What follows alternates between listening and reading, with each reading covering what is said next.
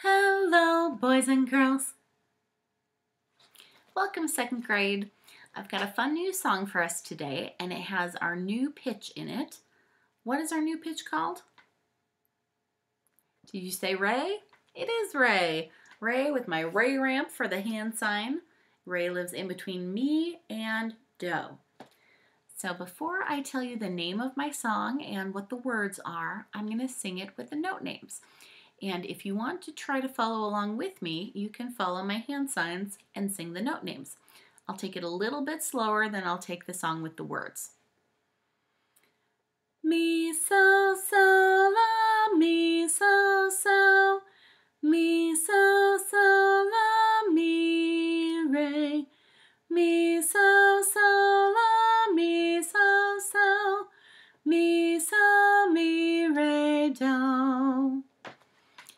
Okay, the song is called Great Big House, and this great big house is in New Orleans. It's 40 stories high. It's a very big house.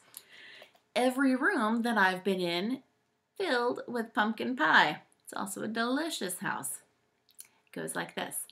Great big house in New Orleans, 40 stories high.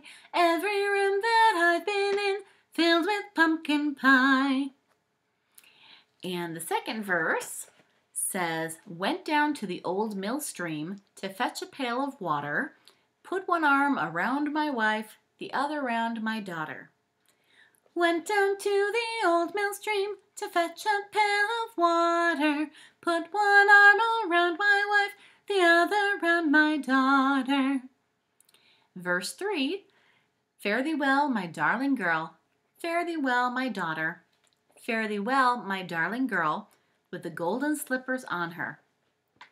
Fare thee well, my darling girl, fare thee well, my daughter. Fare thee well, my darling girl, with the golden slippers on her. And that's the whole song.